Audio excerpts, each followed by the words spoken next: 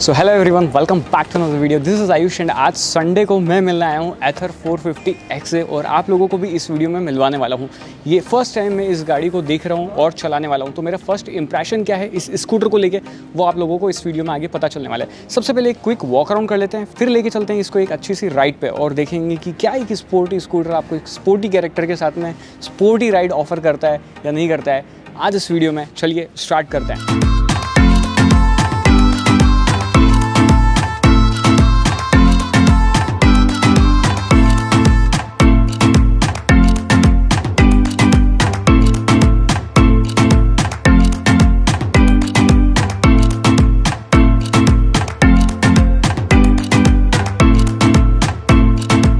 Start करते हैं एक वॉक राउंड से। यहाँ पर ये जो स्कूटर है, वो दिखने में काफ़ी ज़्यादा खूबसूरत लग रहा है स्पोर्टी कैरेक्टर अपने साथ में लेके आया है। लाइक सभी एंगल से जहाँ पर भी आप इसको देखते हैं, काफ़ी ज़्यादा स्पोर्टी जो है ये अपील कर रहा है। अब इसमें क्या कुछ फीचर्स वगैरह मिल जाते हैं? इन डिटेल डेप्थ रिव्यू जो है वो आप लोगों को बाद में मिलेगा जब ये स्कूटर मेरे पास में आएगा एक रिव्यू के लिए। अभी मैं आपको सिर्फ़ हाईलाइट्स बता देता हूँ, ये जो चीज़ें मुझे पसंद आ रही है इस स्कूटर को देखने में। फ़र्स्ट टाइम इस स्कूटर को देख रहा हूँ टू बी फ्रैंक आप लोगों के साथ में ही देख रहा हूँ एंड uh, इसको चला के भी देखूँगा मैं अभी, आप लोगों के साथ में फ़र्स्ट राइड इंप्रेशन भी अभी के अभी शेयर कर दूँगा। बट इन डेप्थ रिव्यू जो है वो तब कब आएगा जब मेरे को ये गाड़ी लॉन्ग टर्म के लिए एथर से मिलेगी और कुछ ही टाइम में मिलने वाली है। तो स्टार्ट करते हैं। सबसे पहले ये जो फ्रंट ब्लैक आउट ट्रीटमेंट है, ये काफ़ी ज़्यादा अच्छा लगता है स्पोर्टी कैरेक्टर एड ऑन करता है।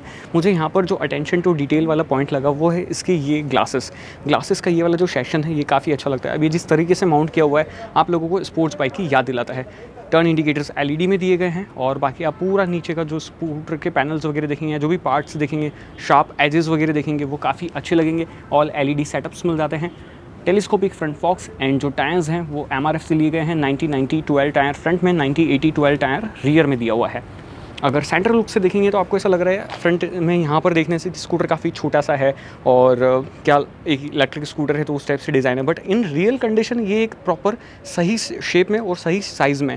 इसके अंदर जो पार्ट्स यूज़ करे गए हैं वो लाइट वेट है और साथ ही इसकी स्पोर्टी कैरेक्टर को और ज़्यादा बढ़ाते हैं। ज़्यादा बल्कि डिज़ाइन ही रखी गई है, चलाने में भी बहुत ज़्यादा मज़ा आता है। अब यहाँ पर आप फुट रेस्ट देख सकते हैं। कंटिन्यूसली इसी फुटरेस्ट को रियर जो पिलियन है, उसके लिए यहाँ पर कंटिन्यू कैरी फॉरवर्ड किया गया है। यहाँ पर आप पैर रख पाएँगे और डिसेंट स्पेस यहाँ पर फुटरेस्ट के लिए दी गई है। और ग्राउंड क्लियरेंस की बात करें तो ये भी काफ़ी अच्छा है। इसमें 2.9 किलोवाट की बैटरी लगी हुई है, जो कि आपको 26 न्यूटन मीटर का पीक टॉक प्रोड्यूस करके देती है। फ्रंट एंड रियर में बाइब्रे से लिए हुए डिस्क ब्रेक्स मिल जाते हैं। साथ ही रियर एंड में देखेंगे तो अगेन ये जो लाइट्स हैं वो काफ़ी अच्छी है। एथर उसके बीच में लिखा हुआ है और यहाँ पर ये जो टेल लैंप है, उसी के साइड में यहाँ पर ये जो स्ट्रिप दिख रही है, ये टर्न इंडिकेटर्स का काम करती है। वन मोर थिंग अगर आप नीचे की साइड देखेंगे तो यहाँ पर साथ में सारी गार्ड्स मिल जाते हैं। ये जो सारी गार्ड हैं, ये has a safety norms Indian condition में सभी को देना कंपलसरी है। ये एक बेल्ट ड्रिविन स्कूटर है और हार्ले डिविडसन के बाद में ये फ़र्स्ट टाइम मैं ऐसा देख रहा हूँ किसी गाड़ी में, जो मैंने लास्ट टाइम चलाई थी वो हार्ले ही थी, जो बेल्ट ड्रिवन थी और उसके बाद में ये एथर जो है मैं चलाने वाला हूँ। यहाँ पर मोनोशॉक सस्पेंशन है रियर में। फ्रंट में टेलीस्कोपिक यानी मोनोशॉक सस्पेंशन कैसे हैं, ये चला के अपन आगे देखने वाले हैं। सीट जो है वो आप देख सकते हैं सिंगल पीस सीट है बट इसमें भी आप लोगों को काफ़ी बढ़िया सेटअप मिलता है। राइडर के लिए काफ़ी अच्छी स्पेस मिलती है पिलियन के लिए भी स्पेस डिसेंट है। विर्थ जो है वो भी काफ़ी अच्छी है और इसकी जो कुशनिंग है वो भी काफ़ी बढ़िया रखी गई है। तो क्वालिटी वाइज ये स्कूटर काफ़ी अच्छा लग रहा है, जिस चीज़ की कंपनी पैसे ले रही है, वो चीज़ आपको मिल भी रही है।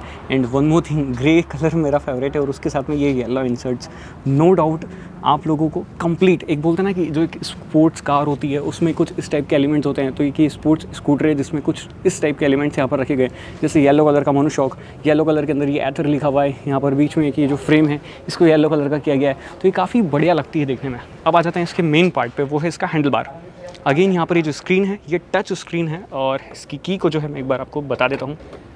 ये देखिए, कुछ इस टाइप की की है। की के लिए जो यहाँ पर सिस्टम दिया गया है, वो सिंपल ही है। एंड कुछ स्टेप्स ये वेलकम करता है। 450X लिखा हुआ है। 450 प्लस वेरिएंट भी है, जो कि 20 लाख रुपीस सस्ता है। और यहाँ पर आपको ये रेंज मिल रही है। 75 परसेंट पे 38 किलोमीटर रैप पे। बिकॉज़ ये एकदम पावरफुल मोड है। ये स्पोर्ट्स प्लस इसको आप बोल सकते हैं। इसके बाद में ये स्पोर्ट्स राइड एंड ये इको इकोमैन 62 किलोमीटर चलेगा 75 पे। 85 किलोमीटर की रेंज जो है, वो कंपनी क्लेम करती है इसके साथ में। 85 की टॉप स्पीड भी है, वो सब अपन अभी चला के देखने वाले हैं। एंड वन मोर थिंग इसमें पार्क असिस्ट फीचर भी है। इसको अगर ऑन कर देते हैं तो स्कूटर रिवर्स मोड में आ जाता है और ये बहुत ही अच्छा लगता है। वन मोर थिंग इसके अंदर जो है, ये आपके फ़ोन वाले सारे फीचर्स जैसे मिल जाते हैं ब्लूटूथ मिल जाती है सेटिंग मिल जाती है स्क्रीन की ब्राइटनेस आपको कम ज़्यादा करनी है, वो आप कर सकते हैं, इसको शट डाउन करना है, वो आप कर सकते हैं। मैप अगर आपको लगाना है तो यहाँ पर आपको एक कंप्लीट मैप मिल जाता है।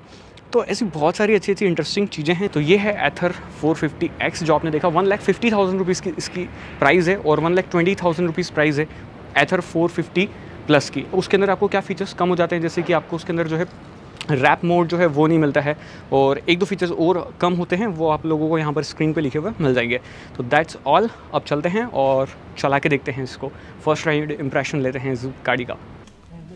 तो चलते हैं, चला के देखते हैं और एथर एनर्जी के इस स्कूटर को अभी मैं पीलियन के साथ में चला के टेस्ट कर रहा हूँ बिकॉज़ पता तो चले मुझे कि पीलियन के साथ में एक ऐसी फील दे रहा है। तो पहले पीलियन के साथ चलाते हैं, फिर अंधेरे में लेके चलेंगे लाइट टेस्ट करेंगे, फिर टॉप स्पीड सस्पेंशन उन सभी के बारे में बात करेंगे। अभी यहाँ से लेते हैं टर्न और थोड़ा सा करते हैं एक्सलोरेशन ज़ीरो टू फिफ्टी करके देखते हैं। ओके अभी गो अभी मैं स्पोर्ट्स मोड में उसमें चार मोड मिलते हैं, जैसा कि मैंने आपको बताया eco sports ride and warp mode तो ये सारे मोड हैं एंड फिफ्टी फाइव की स्पीड तक आने में मुझे कोई टाइम नहीं लगा। मेरे साथ में पीलियन है, दोनों का weight almost sixty five seventy के आसपास है। तो अगेन ये चीज़ काफ़ी बढ़िया है। तो चलते हैं अब थोड़ा सा नीचे की तरफ़ एंड स्पोर्ट्स मोड में चलाने में तो काफ़ी मज़ा आ रहा है। बाकी नीचे वाले मोड्स में भी चला के देखेंगे और अभी एक रैप मोड बचता है। ओ हो हो हो, गज़ब! की ब्रेकिंग जो है वो इसके अंदर आपको मिलती है। टायर से भी जो है काफ़ी अच्छा आपको आउटपुट जो है मिलता है। लाइक परफॉर्मेंस अच्छी मिलती है। आप इधर उधर लीन होकर निकाल सकते हैं और काफ़ी ईजिली जो है वो मुझे लग रहा है ये मनोवर करना।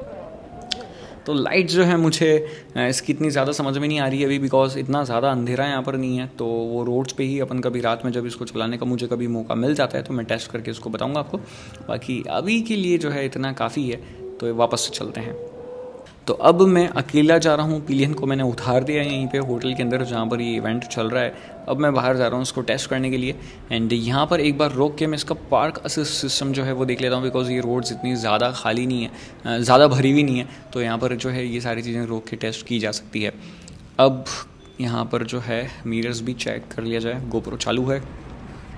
ओके तो ये जो है ऐसे पार्क मोड में आ जाता है रिवर्स मोड तो ये ऐसे रेस देंगे। तो आप तीन की स्पीड पे ये रिवर्स चलेगा। लाइक कई बार ऐसा होता है कि आप चला नहीं पाते हैं, पीछे खींच नहीं पाते हैं इंक्लाइन पे खड़ा होता है तो वैसे आप कर सकते हैं। और फ्रंट मोड अगर आप डालेंगे फ्रंट वाला तो वैसे फाइव की स्पीड के आसपास जो है, ये चलेगा।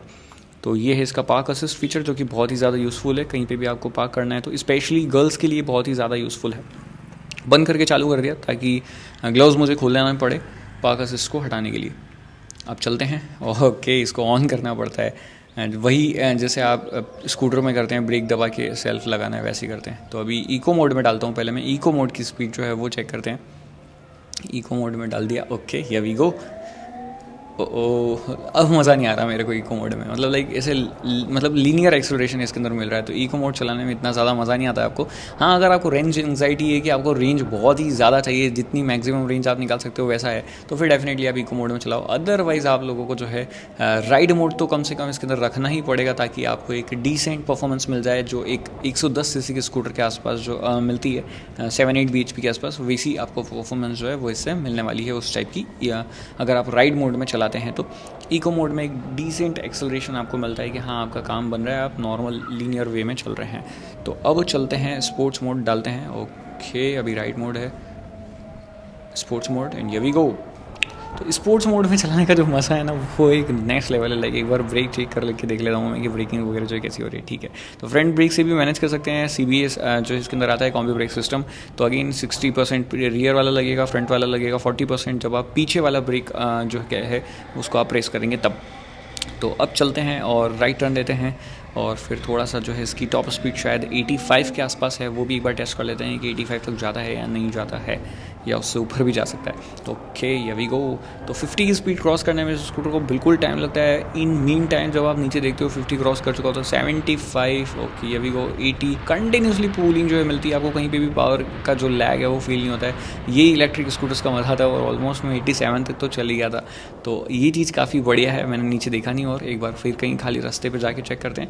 और काफ़ी ईजी है इसको मनोवर करना। लाइक ऐसा नहीं कि आप सेवेंटी एटी पे चल रहे हो नाइन्टी पे चल रहे हो और आपको एकदम नीचे लेके आना है तो आप आराम से ब्रेक्स लगा सकते हो हाँ। बट अगर डिस्क ब्रेक की आपको आदत नहीं है, आपने ऐसे स्कूटर्स नहीं चलाएँ तो थोड़ा सा पहले डायरेक्टली ऐसे प्रोफेशनल तरीके से चलाने की कोशिश मत करना अदरवाइज़ आप गिर जाओगे और टायर लॉक भी हो जाते हैं उसमें डिस्क ब्रेक में बिकॉज़ इसमें ए नहीं है, सिर्फ़ सीबीएस है, ठीक है।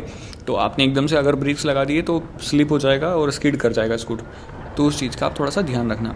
अब एक बार देखते हैं कि यहाँ पर स्पीड जो है वो कितनी मिलती है। 80 क्रॉस्ड एंड अभी भी कंटिन्यूसली पुल कर रहा है। बिल्कुल पावर की कमी यहाँ पर भी महसूस नहीं हो रही है। नाइन्टी की स्पीड गजब ऑसम तो नाइन्टी की स्पीड जो है, वो इसकी टॉप स्पीड है। नाइन्टी की स्पीड में मैं कंटिन्यूसली चल रहा हूँ। कोई परेशानी नहीं आ रही है। मुझे कहीं पर कोई वाइब्रेशन वगैरह, नाम की कोई चीज़ ही नहीं होती। रिफाइनमेंट इसका जो है हंड्रेड एंड वन परसेंट है। तो ये सौ परसेंट से ज़्यादा रिफाइन है ये स्कूटर बिकॉज़ मज़ा आता है इसको चलाने में। दूसरी एक चीज़ मुझे अच्छी लगी, कुछ लोगों को अच्छी नहीं लगेगी, कुछ लोगों को लगेगा कि साइलेंट होना चाहिए बट ये स्कूटर बहुत ज़्यादा नॉइस करता है। इसकी जो इलेक्ट्रिक मोटर है, वो नॉइस करती है।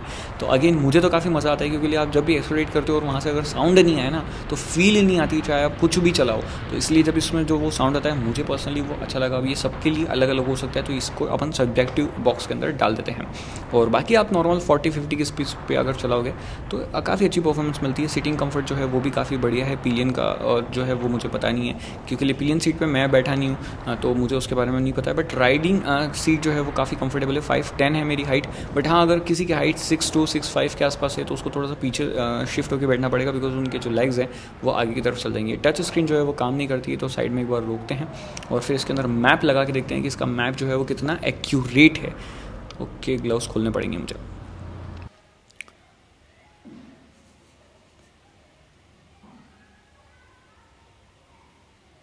ऑल राइट right, तो मैंने ग्लव्स खोल के सेट कर दिया। इसका जो नेविगेशन है, जहाँ पर मुझे वापस जाना है, कि देखता हूँ मैं कि कितना एक्यूरेटली ये काम करता है, सही लोकेशन पर जाता है या नहीं बताता है तो वो सभी चीज़ें एक बार चेक हो जाएगी। अगेन धूप में काफ़ी सनलाइट है, ऊपर से बहुत ही ज़्यादा धूप आ रही है बट फिर भी कोई परेशानी नहीं आ रही है मुझे इसका इंस्ट्रूमेंट क्लस्टर को रीड करने में, जो इसका ये डिस्प्ले है, ये काफ़ी ईजिली रीडेबल है। ऊपर से अगर काफ़ी सनलाइट आ रही है तो भी आप इसको पढ़ सकते हैं, आराम से इसकी ब्राइटनेस कम ज़्यादा अपने अकॉर्डिंगली कर सकते हैं। तो ये चीज़ काफ़ी अच्छी है। ब्लूटूथ भी इसके अंदर आपको मिल जाता है तो ये चीज़ भी इसकी बहुत ही बढ़िया है। इसमें कई सारी चीज़ें मुझे अच्छी लगी है अभी तक इनिशियली हाँ एक और बात है कि इसके जो मिरर्स हैं, वो थोड़े से और ज़्यादा वाइड होने चाहिए थे या वहाँ से व्यू थोड़ा सा और ज़्यादा अच्छा आना चाहिए था। ये चीज़ मुझे अभी फील हो रही है कि इसमें मेरी जो एल्बो है, वो ज़्यादा दिख रही है और मुझे व्यू जो है, वो थोड़ा सा कम दिख रहा है। बाकी टायर की ग्रिप वगैरह बढ़िया है, कोई परेशानी उससे रिलेटेड नहीं आ रही है। फ्रंट सस्पेंशन थोड़ा सा स्टीफर साइड है रियर वाला सस्पेंशन परफेक्टली बैलेंस्ड करा हुआ है, उसमें आपको कोई परेशानी नहीं आएगी। फ्लोर बोर्ड का एरिया थोड़ा सा और ज़्यादा होता तो वो एक अच्छी बात हो जाती। एंड ओवरऑल जो प्लास्टिक मटीरियल या क्वालिटी यूज़ करी है, वो अभी मैं उसके बारे में कुछ कमेंट कर नहीं सकता हूँ बिकॉज़ मैंने इतना ज़्यादा यूज़ नहीं करा है। और ना ही किसी ऐसे पर्सन से मुझे फीडबैक मिला है, जिसने इसको काफ़ी अच्छी तरीके से यूज़ कर लिया। दिल्ली में आज ही ये लॉन्च हुआ है one lakh fifty thousand rupees इसकी प्राइस है। थर्टी टू या थर्टी वन स्कूटर उन्होंने डिलीवर कर भी दिए हैं। जो चीज़ हमने देखी है होटल में काफ़ी अच्छा लगा मुझे, सब लोग काफ़ी खुश थे इस स्कूटर को लेके। और आप लोगों को मैं यही रिकमेंड करूँगा कि आप इलेक्ट्रिक स्कूटर परचेस करें ग्रीन बनाए रखें अपने एनवायरनमेंट को और फिफ्टी सिक्सटी किलोमीटर आपके रोज़ कराने है तो आराम से आप इन्हें परचेस करके डे टू डे लाइफ में यूज़ कर सकते हैं। और दिल्ली में भी जो है, इसके पाँच चार्जिंग स्टेशन आपको मिल जाएँगे दिल्ली एनसीआर रीजन में।